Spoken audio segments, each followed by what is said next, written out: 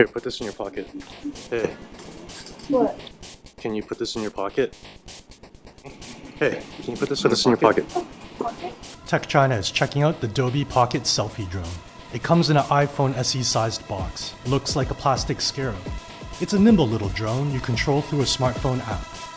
Its rotors are bolted in and its arms swing out. Retails for $350. Its footage is 1080p, although the image is a bit jerky without a stabilizer. Seems pretty good in nighttime conditions, and you can take off and land on your hand.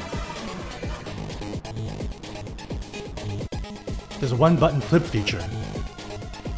I'm not sure when you would use it, but it's still pretty cool. Just one more flip. The controls are pretty well laid out, although the active track feature didn't work very well. While orbit and face tracking have yet to be installed. Depending on whether you're recording and just how much maneuvering you're doing, the battery can drain pretty fast. Just loitering killed the battery in under 8 minutes. One button launch and landing makes this a breeze to start and stop. The range was pretty decent, at around 30 meters, given it's only tethered to a phone's Wi-Fi range. Is 350 worth it for a selfie drone? Probably not when a selfie stick sells for a few bucks. But the drone's a neat novelty for those hard to capture selfie angles.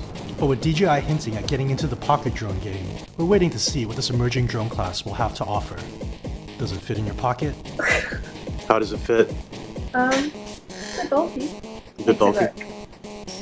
I could put something else in there. Fits well? It's a bit bulgy. A bit bulgy, you said? Put it in your pocket. Yeah. How does it fit? it's large. Is it uncomfortable? Um, not uncomfortable, but I can feel it. Uh, It's quite big. does it fit? It's weird.